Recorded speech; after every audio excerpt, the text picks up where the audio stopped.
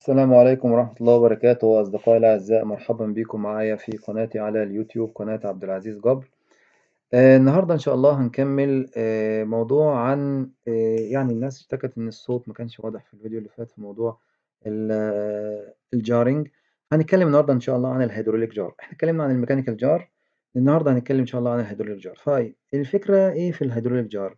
نقول يا جماعة إن الهيدروليك جار ده بيستخدم الزيت الهيدروليكي أو الهيدروليك فلويد to delay the firing of the jar until the driller can apply the appropriate load uh, to the string to give high impact.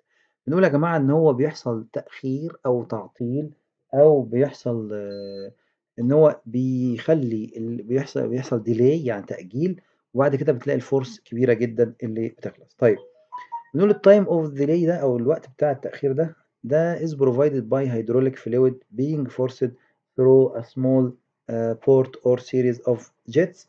فبنقول الهيدروليك جار firing delay is dependent on uh, the combination of load and time.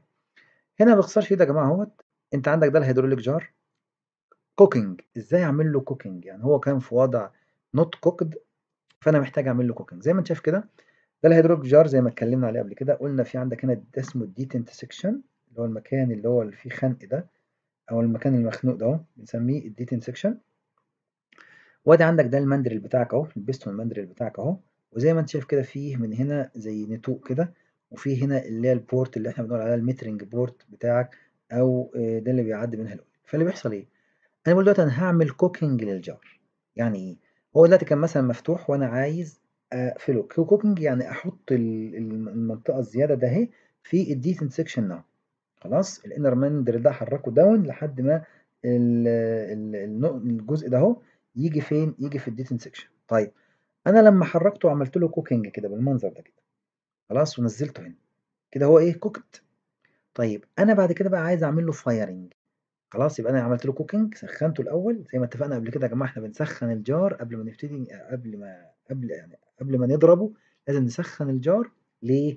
علشان آه، مثلا ما يضربش مننا فجأة. يعني أنت دايما دايما هو اللي مصمم ال jar مصمم إن هو يبقى على مرحلتين. مرحلة إن أنا أعمل cocking وبعدين مرحلة أعمل له loading عشان يحصل له ال firing بتاعه. خلاص؟ فأنا دلوقتي عملت له كو... عشان أعمل له cocking آه نزلت لحد ما خليت الجزء ده موجود في ال detent section هنا. طب خلاص بقيت موجود هنا. طيب أنا دلوقتي خلاص بحفر بقى وأنا وضعه في وضع ال cock ده أو غيره وبحفر والدنيا تمام ومش عارف مين. وفجأة استكيت. فعايز أضرب ال jar بتاعي. طيب عشان أضربه. فقال لك هتشد مثلا تعمل over pull معينة. ال over pull ديت اللي أنت طبعا pre selected بتاعتك اللي هيبقى موجودة عندك في ال manual أو في ال- ال- ال data اللي بقى مبعوثه لك بتاعت ال jar يقول لك هتشد لحد قيمة كذا over pull فأنت تيجي شادد ب load معينة فأول ما حضرتك ما هتشد كده حضرتك ده ال metering port أهو الز- الزيت ده بيبقى مضغوط جدا. الزيت ده بيبقى مضغوط على الآخر. وانت بتشد كده apply over pull حضرتك هنا ال area دي بتنضغط تنضغط تنضغط تنضغط لأنه زيت. ففي energy بتبقى يحصل لها store يعني بتتخزن هنا. طبعا بيبدأ بيطلع بس منها إيه جزء بسيط خالص من الزيت بيطلع من خلال ال port ده أهو. فال port اللي بيطلع من هنا بيطلع بنفس قوة ال pressure اللي إيه اللي موجود جوه هنا. فبينزل هنا يزود لك في ال pressure في المنطقة اللي موجودة تحت هنا. خلاص؟ طيب أول ما نزلت هنا أول ما حضرتك من الجزء ده هم عدى ال detent section أو once إن ال area عدت الديتنت سيكشن خد بالك إن ده كان مضغوط جدا. فبيجي يحصل له release تحت هنا. بالإضافة إن ال port ده كان معدي high pressure هنا برضو فمجموع ده مع ده يعمل لك acceleration أو يخلي ال mandrel يتنطر بسرعة لفوق وبالتالي يحصل لك ال tripping بتاع ال jar بتاعتك. خلاص؟ فده ال mechanism بالظبط بتاع ال hydraulic jar.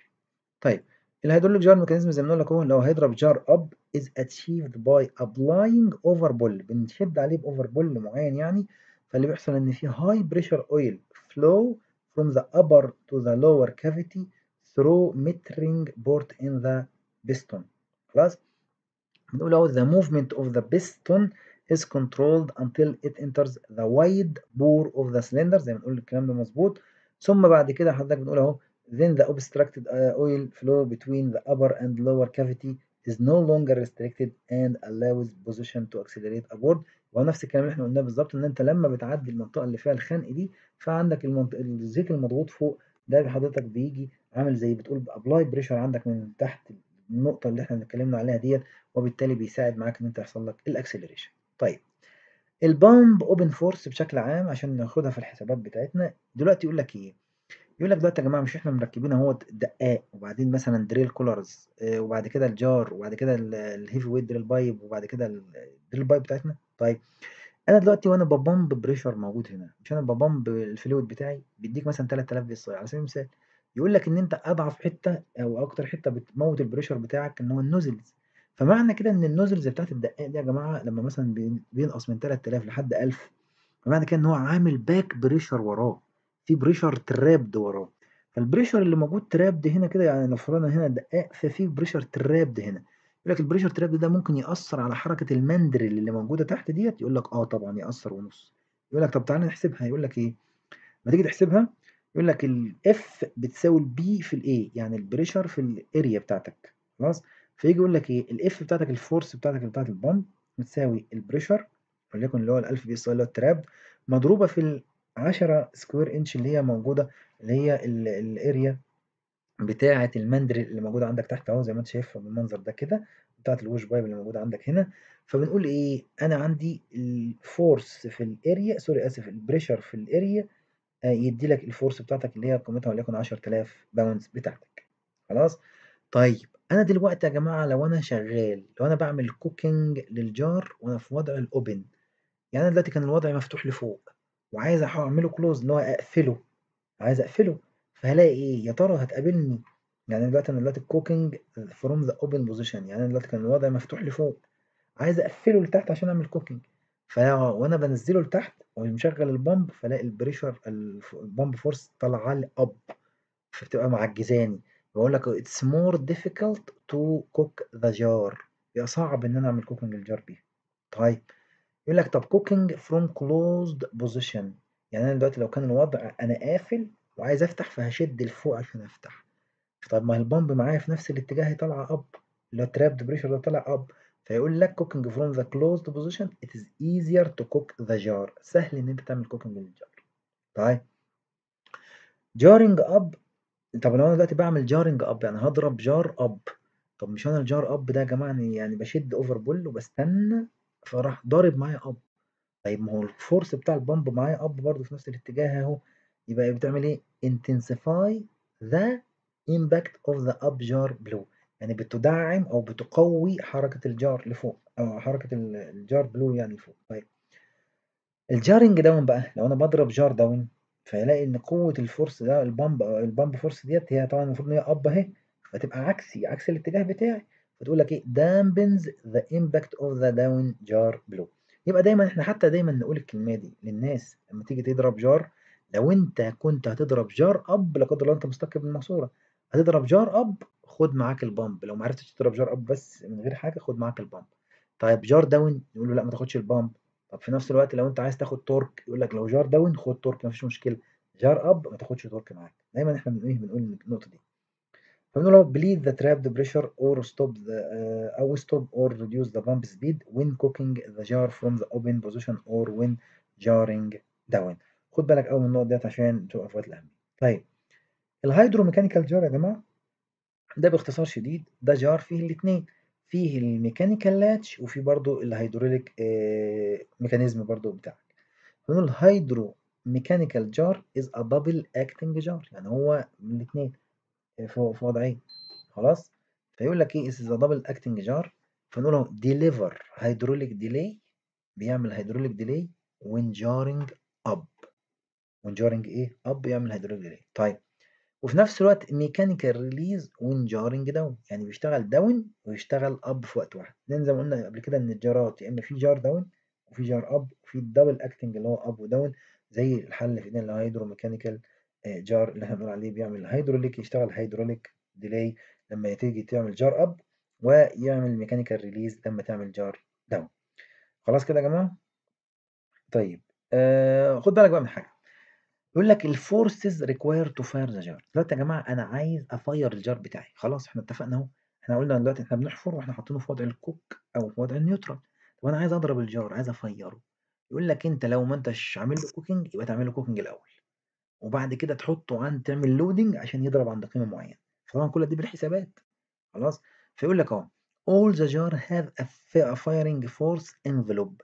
حاجة اسمها firing force envelope يعني range كده range اللي هو بتلاقيه يعني مثلا أنا هعرف كمان شوية لما نيجي نبص عليها كده أقول لك مثلا أنت هتيجي تقرأ على ال Martin Decker القراية مثلا أنت ال pick up بتاعك كان كام؟ كان كذا. خلاص؟ مثلا بديك مثال وال pump force بتاعتك اطرحها منه يبقى كذا. مثلا وأنا دلوقتي على سبيل المثال آه المفروض عشان أخلص من ال latch section أو أعمل ال envelope بتاعي ده عشان أخلص منه فمحتاج لو أنا up كذا ولو أنا down كذا. أشوف إذا كنت هضيف ده ولا هنقصه. وبالتالي أنا كنت عند الوضع ده أنزل بال string مثلا للوزن التاني أو أشد بال string لحد ما أقف عند القيمة التانية. واستنى شوية هيجي ضارب معاك ال jar يبقى لازم هنا نقول all jars have a firing force envelope for each direction they fire in. يعني لكل اتجاه لو أنا بضرب jar up أو لو أنا بضرب jar down لازم أخد بالي من النقطة دي قوي خلاص؟ فنقول لك أهو. The firing force envelope consists of two forces. force واحدة عشان تعمل cocking لل jar ده لو أنت ما أنتش منزله أصلا cock من الأول. وال force التانية عشان ي fire ال jar بتاعك زي ما قلنا اللي انت بتحسب يعني بتحسب دي بتحسب دي. خلاص؟ طيب. بقول هنا إن أنا عندي ال dual acting jar بقول إن هو has two force envelope يعني ليه اتنين؟ بقول واحدة down jarring والتانية بتبقى up jarring يعني بحسب على مرتين اتنين. تمام؟ طيب فزي ما انت شايف كده ادي الصورة اهي قدامنا اهي. ده لو افترضنا إن ده ال Martin Decker بتاعنا واخد بالك؟ وده كان الوزن بتاعي.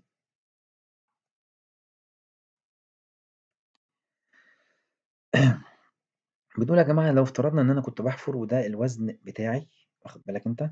فأنا بقول يا جماعة إن أنا عايز أعمل في حاجة عندي اسمها down jar envelope يعني إيه؟ يعني يقول لك مثلا إن أنت عشان تضرب ال jar بتاعك لازم تحط قيمة معينة مثلا بال slack يعني تعمل cocking الأول تعمل cocking لل jar الأول وبعد كده تحط تعمل ال loading بقى بتاعك باللي هي ال mechanism بتاعك تقول مثلا هنزل أحط slack قد كذا وبعد كده هو يحصل له ال firing بقى. خلاص؟ ونفس الكلام لو انت عاوز تضرب jar up زي ما انت شايف ده ده ال up jarring اهو. يعني انت مثلا كنت عند قيمة معينة هنا بتسخن اللي تعمله cocking الأول وبعد كده بيجي إيه بتيجي حاططها في الوضع ده اللي هو يحصل له ال jarring بتاعك. طيب. ولو jar cocked to fire jar cocked to fire down خلاص اللي هو عند القيمة ده اهي كده انت بتعمله عشان اضرب down فانا كنت واقف هنا. اعمل له cocking يعني بقفله بقف هنا عند القيمة ده اهي. خلاص؟ طيب وبعدين بيجي حضرتك بقى بي لما بيحصل يضرب jar عشان ي fire خلاص انت كده عملت له cocking قفلته. ثم بنزل بالوزن بتاعه لحد القيمة دي فيجي هو م fire down عند القيمة دي. يعني هو مش هي fire غير لما يكون عند القيمة دي. خلاص؟ طيب نفس الكلام لو أنا دلوقتي كنت في الوضع ده عملت له cocking عشان ي fire up فهو كان هنا. واخد بالك؟ وهو بي fire up عند إيه؟ عند القيمة دي اللي هي jar fires up عند القيمة دي. طيب تعال ناخد شوية حسابات بسيطة كده لل jar واقول ال jar calculation أهو. أنا هعمل إزاي cocking لل jar يا جماعة؟ إيه القيم الحاجات اللي باخدها معايا؟ فاجي أقول لك ساعتها ال minimum weight indicator reading to cock the jar سواء إذا كان mechanical أو هيدروليك يعني أنا أبص على ال Martin Decker أشوف قيمة كام عشان أنا ساعتها أقول إن أنا عملت cocking لل jar. أنا دلوقتي يا جماعة واحدة واحدة أنا في موضع إيه؟ open ولا close يعني البستون بتاعي كان open ولا كان close افترض إن البستون بتاعك كان close close يبقى أنا هحتاج أفتحه. طيب لما كان close وأنا هحتاج أفتحه هفتحه ده أنا هطلع لفوق. هطلع لفوق يعني هاخد pick up هطلع لفوق يعني هاخد pick up يبقى ساعتها بسجل معايا أقول last recorded pick up weight كان بكام؟ وليكن كان ب 330000 يبقى أنا طالما هطلع لفوق يعني أنا دلوقتي هو وضع إيه closed وضع closed يعني مقفول فأنا هفتحه هطلع لفوق يعني هعمل pick up أهو يبقى أسجل last recorded pick up weight كان 330000 مثلا. طيب دايما معايا طالما إن أنا تحت ال jar ما هو تحت ال jar دايما مطروح اللي هو ال BHA بتاعي. في كل القيم هطرحه كده كده. ليه؟ لأنه مش يعني مش مؤثر مش هعرف يعني مش هيأثر معايا في حاجة. أنا إذا كنت هشد ولا إذا كنت أحط slack هحطه من فوق. يعني فهو كده كده مطروح. يعني لو أنا مثلا stuckيت وأنا نازل تحت فأنا لو هحط slack هحطه من المواسير اللي فوق. وزي وأنا برضه نفس الكلام لو أنا stuckيت وأنا طالع مثلا على سبيل المثال فأنا وأنا طالع مثلا أو أنا فأنا هشد هشد بالمواسير اللي فوق. فكده كده ال BHA سواء إذا كان في الوضع ده أو في الوضع ده بطرحه. بطرحه من وزن ال string يبقى ال last recorded pick up weight بتاعي كان 330000 بطرح منه ال BHA اللي تحت ال jar اللي هو ال 30000 طيب ال internal friction بتاعي يعني أنا دلوقتي وأنا بقفل ال jar مش هو بيواجهني قوة عشان أقفله؟ عشان أقفله. خلاص طب هو دلوقتي في في وضع ال closed position ال closed position حضرتك فأنا هفتحه يعني هشد لفوق. فألاقي ال Martin Decker لما أجي أشد يزيد. يزيد مثلا بقوة ال 10000 بتاعتي. يزيد بقوة الكام؟ ال 10000 يبقى أنا ساعتها لما أجي أشد لفوق كده ألاقي قيمة ال internal بتاعي بتزيد معايا بقيمة معينة مثلا. فألاقي في الآخر خالص الايه ال weight indicator بتاعي بيزيد بقى 310 مجموع الاثنين بقى 310 يبقى أنا ساعتها عشان أعمل cocking لل jar لو أنا كنت واقف عند 330 انزل بالوزن لحد 310 خلاص نزلت بالوزن لحد 310 يبقى أنا كده عملت cocking لل jar. خلاص كده يا جماعة واضحة؟ طيب. طيب لو أنا بقى كنت في وضع open يعني الوضع اللي أنا دلوقتي ال jar بتاعي مفتوح عايز أقفله طيب ما هو أنا عشان أقفله يبقى أنا هنزل لتحت يعني هحط slack يبقى أسجل ساعتها بقول last recorded slack off weight كان وليكن 330000 يبقى ده آخر قيمة أنا مسجلها. وزي ما قلت لك الوزن دايما بطرح منه إيه؟ بطرح منه ال BHA علشان هو بيأثر هو كده كده already مطروح معايا هو تحت ال jar ما بيأثرش معايا في الحسابات لما مش مأثر على المواسير مش مش زي المواسير بشد بيه أو بطرح بيه أو بعمل أي حاجة هو كده كده بطرحه. طيب ال internal jar friction مش أنا دلوقتي يا جماعة نازل لتحت؟ فوأنا بنزل لتحت ده بلاقي إن الوزن معايا بيقل يعني مثلا على سبيل المثال كان 330 وليكن 330 مثلا فأنا بريح ال internal friction ده هقول له هنقص 10 هنقص 10 يعني هتبقى كام؟ يعني هتبقى 330 مثلا 320 اللي هي قيمة ال friction بتاعي. يبقى أطرحها لأن أنا هنا في وضع slack slack يعني كل ما بزود وزن كل ما يزيد لي slack خلاص؟ يبقى نقول هنا هطرح ال internal friction بتاعتي هطرحها.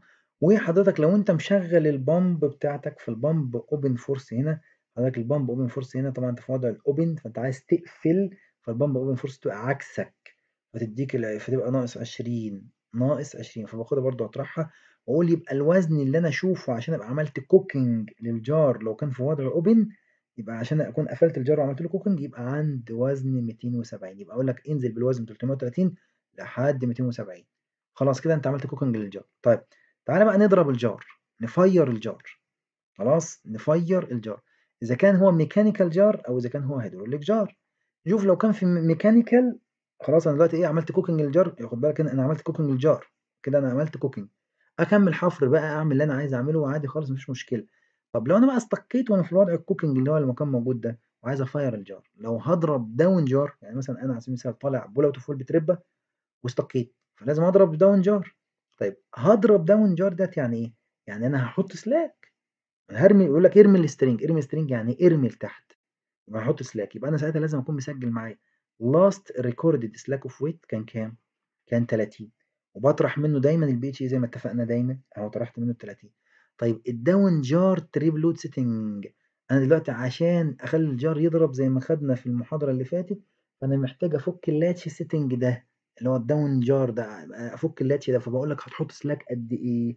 يقول لك مثلا لو أنت عايز تضرب down تحط slack مثلا وليكن 40 يبقى أنا حضرتك لازم أحط slack 40 أحط slack 40 ديت يعني أنقص 40 من الوزن أو أخلي الوزن بتاعي ينزل 40 خلاص يبقى بدل ما هو 330 ينزل مثلا 40 يبقى 290 مثلا على سبيل المثال. خلاص؟ يبقى هعمل في حسابي إن أنا في عندي 40 هحطهم تاني. طيب ال pump open force ال pump open force هنا يا جماعة مش أنا نازل دلوقتي بقفل. يعني بقفل وأنا نازل لتحت. خلاص؟ فيبقى هي هي بتعاكسني. صح كده؟ فبتعاكسني ديت يبقى إيه يبقى أطرحها برضو معايا اللي هي ال pump open force بطرحها فتديك الايه القيمة ال 20 اللي إحنا حاسبينها. يبقى أقول لك الوزن النهائي 330 نقص منها 30 نقص منها 40 نقص منها 20 اديتك في الآخر الوزن اللي المفروض تشوفه على المارتن ديكر كان كام كان 240 يبقى أنا ساعتها لما أبص أنا ساعتها بعد ما عملت كوكو كل ده تمام كنت عند 330 قول له انزل لحد 240 يا حاج وقف. نزلت لحد 240 هتلاقي ال fire ضرب على طول. ده لو كان down jar. طيب لو كان up jar لو كان up jar بنفس الكلام. up up يا جماعة إن أنا دلوقتي هضرب ال jar لفوق. فالفوق ديت يعني لازم أنا أعمل pick up أشوف آخر وزن ال pick up كان كام. أقول لك last recorded pick up weight كان 330 مثلا. وكذلك أنا بطرح منها ال BHA لأن هي مش مؤثرة معايا في المواسير اللي بلعب عليها فوق. خلاص؟ بطرح منها ده. طيب ال up jar trip load setting يعني إيه؟ يعني أنا دلوقتي يا جماعة بقول لك إن أنت محتاج علشان تفتح ال jar لفوق محتاج تشد over pull فأنت هتشوف على ال indicator بتاعك إيه؟ زيادة في الوزن صح كده؟ فأنا بقول لك شد over pull كام؟ اللي هي القيمة اللي كانت مكتوبة لك في ال manual وليكن 40 80 خلاص يبقى مثلا ال down 40 وال manual بيقول لك ال up كام؟ مثلا 80 وكده كده ال pump open force بتاعتك هي بتعمل intensify لل force بتاعتك intensify ال ال jar بتاعك، فحضرتك هنا آآ بتطرح بس قيمتها علشان يعني بتطلّعها برّه المح المعادلة بتاعتك يعني. خلاص، فحضرتك هنا بتقول كام؟ آخر قيمة كانت 330 هتطرح منها ال BHA هتضيف عليها ال80 وبعدين تطرح منها ال20 فيدّيك في الآخر الوزن اللي المفروض تشوفه ويضرب عنده الjar up 360 فأنت هتقول للراجل إيه، مش ده 330 شِد over pull لحد ما تبقى 303 360 خلاص جات 360 هتلاقي الjar أقف شوية هتلاقي الjar ييجي ضارب خلاص؟ نفس الكلام الhydraulic jar بتاعنا يا جماعة نفس الكلام اللي اتكلمنا فوق هنتكلمه تحت بس الفرق بين ال الmechanical هو نفسه الhydraulic. فبنقول برضه لو أنت عامل لو أنت عايز تعمل down jar blow نقول recorded slack of weight كان كذا الBHA كذا الBHA كذا. بيقول لك الdesired trip load هو بيبقى كاتبها لك بيقول لك مثلًا وليكن 50 الpump open force وليكن 20 بت نفس القيم اللي فوق بالضبط فيقول لك الweight indicator المفروض تقراه عند قيمة 230 مثلًا على سبيل المثال فساعتها يضرب معاك الjar خلاص، نفس الكلام هنا ب نفس الكلام تمامًا، تمامًا في الup jarring هنقول برضه الlast الpick up كان هنا كام، الوزن بتاع الBHA باطرحه كام، بيقول لك الtrip load ال القيمة اللي هو كاتبها لك في الmanual كانت كام، باطرح الopen pump open force بتساوي كام، وبالتالي بيقول لك انزل بالوزن بتاعك لحد القيمة دي أو اطلع لحد القيمة دهي، ساعتها هتلاقيه بيضرب أوتوماتيك. طيب يبقى tripping the jar اللي هو الmechanical أو الhydraulic نقول الdown jar operation. نقول له after cooking the jar بعد ما عملت cooking للjar هاعمل إيه؟ هاحط slack slack of the weight to the calculated weight indicator load أوصل لحد الweight بتاعك اللي هو كما كنت بتقول slack ليه؟ لإن أنا already عندي طرحت منها الBHA بتاعي اللي هو الس قيمة الslack اللي أنا باخدها، لإن عشان كده قُلت لك أنا ب باخد الslack منين؟ ب بانزل بالقيمة اللي هي إيه؟ اللي هي قيمة زي ما قُلت لك هنا باطرح دايمًا الBHA خلاص عشان تحط فتلاقي القيمة دايمًا قلّت معاك فكأنك بتحط slack يبقى cooking the jar slack of weight to the calculated weight indicator load طيب وبعدين look down the brake يعني س كاستن البريك زي ما بنقول اللي هي ال كاستن البريك بتاعة ال draw د draw work يعني واستنى الjar شوية عشان يحصل له اللبس زي ما أنت شايف أهو كده الdrill string أهوّة نزّلناه فحضرتك الjar حصل له cooking وبعدين بتشد بقى تشوف أنت هتعمل jar latch trip يعني يطلع من هنا وبعدين يحصل لك البلو بتاعك بالقيمة اللي أنت إذا كانت 8 إنش والّا كام.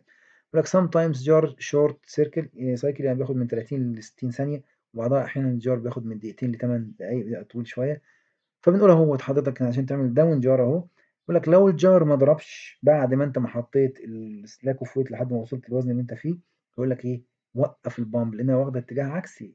وقّف الpump أنت نازل تحت وهي بت بتعاكسك فساعتها نقول لك stop the pump وbelieve the trapped pressure واعمل again the jar and apply trip load مرة تانية بس من غير الpump خلاص، لو ما نفعش الjar ده فيقول لك ساعتها إيه زوّد of weight شوية لإن ربما يكون أنت قاري قراية غلط أو مش متشاف أو معاك زاوية أو horizontal أو أي حاجة من الحاجات دي.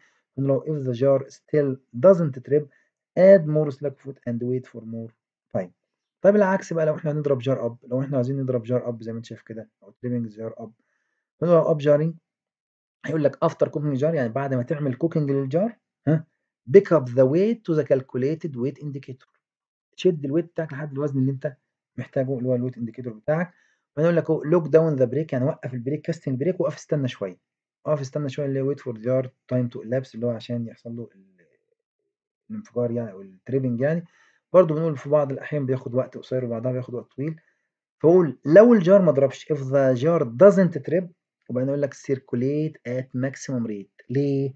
لإن حضرتك هنا الpump وopen force معايا في اتجاهي معايا فهتساعدني. معايا فإيه فهتساعدني إن أنا أضرب. باقول لك يبقى الup jar operation إيه الup jar تاني بنقول إن الpump open force بتبقى في نفس الاتجاه بتاعي وهاحتاج إني أضربها. باقول لك circulate at maximum rate and allow additional time آآ وdon't apply طبعًا pressure. نقول أهو if the jar doesn't trip stop the pump وrecook again the آآ jar وapply the trip load again. يبقى أنت هنا في حالة jar up خُد معاك الpump في حالة إن أنت ما عرفتش تضرب في الأول وهكذا. طيب إمتى الjar ما يحصلوش firing؟ jar not firing إمتى يا جماعة؟ يقول لك أول حاجة لو أنت ما عملتش cooking للjar أنت ما حطيتش الforce الأول اللي أنت تعمل latch أو تفك الlatch يبقى أنت ما عملتش cooking الأول. تاني حاجة ما سخّنتوش. تاني حاجة لو أنت not waiting long enough time أنت مثلًا والله حطيت الوزن ومش ما استنيتش دقيقتين 3 4 10 أحيانًا عشان يضرب ما استنيتش لأ على طول خدت وزن تاني فساعتها طبعًا هو شربكته من تحت ما ضربش. طيب تالت حاجة stuck above the jar لو أنت اللي stuck أصلًا فوق الjar فأنت مش عارف توصل لا لتحت ولا لفوق لا تدّي slack ولا تشد. jar failure الjar نفسه ميكا mechanism failure باظ pump open force not considered لو أنت ما خدتش في حساباتك الpump open force وبالتالي حضرتك تلاقي القيم مأثّرة معاك، زي ما قُلنا 120.000 دلوقتي. الpick up والslack of weight in incorrect آآ مسجّل قيم غلط للpick up والslack of weight خلاص، فدي برضه يأثّر معاك. طيب هنكتفي بهذا القدر النهارده، أتمنى يا رب نكون قدرنا نوصّله بشكل بسيط وسَلِس، وإن شاء الله نتكلم على ال الnotes بتاعة الجار إن شاء الله في المحاضرة الجاية. أشكركم جدًا والسلام عليكم ورحمة الله وبركاته.